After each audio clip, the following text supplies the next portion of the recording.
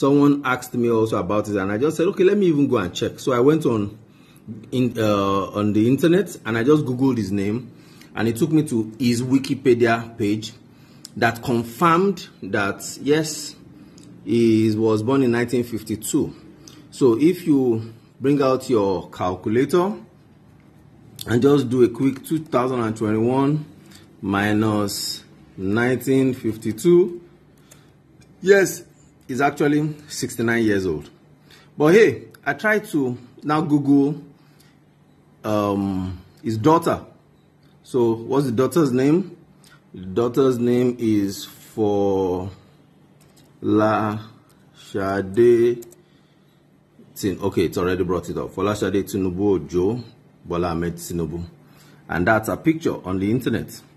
So, as you can see here, it says this is not a doctored page. So, parents is Bola Tinubu, siblings Jide Tinubu, the one that died, and the grandparent is Abibat Mogaji.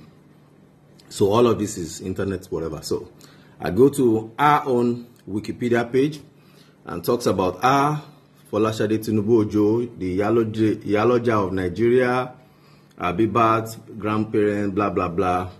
And the same page talks about Bola Ahmed Tinubu, born 1942. Born 1942. So take 1942 back to your calculator, 2021 minus 1942. Boom! 79 years old.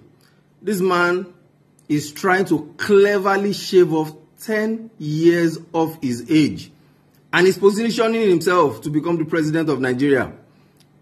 Integrity. This is what he's trying to tell us. 10 years of his age. And we are still going to be ignorant enough to believe, oh, Jagaban is the great guy. This and that. Someone that is going to blatantly lie about his age for the whole country. Hey, Nigeria, it's in your hand, though. It's in your hand to know what to believe or not. Like they say, the internet doesn't lie. The internet doesn't forget. So